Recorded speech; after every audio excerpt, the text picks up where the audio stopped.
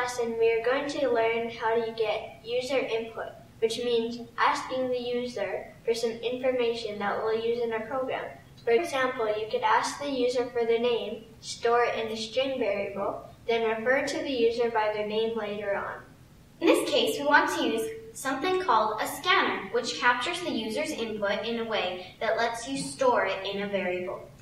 We could create the scanner ourselves, but this would be a lot of unnecessary work because somebody else has already done it for us. There, that's one of the great things about programming. We almost never have to reinvent the wheel because we can usually work off of the code that someone else has already written for us. To do this in Java, we need to import a library. Libraries are just collections of related code that you can import into your project. The library with the code for scanner is called Java Util. Importing libraries is usually easy. For this library, just add this code to the top of your class. That's all it takes to be able to use scanners. Imports are one of the few times we're allowed to write code outside of the class definition.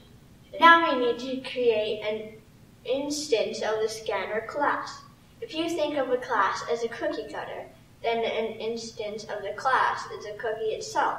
You can do this by adding this code. This line is a bit confusing, so we'll talk about the parts of it. The first word, scanner, means we're making a new variable and its type is scanner instead of something like int or string. Right after is the name of the variable, same as always. In the next video, we'll learn more about this. Bye, coders!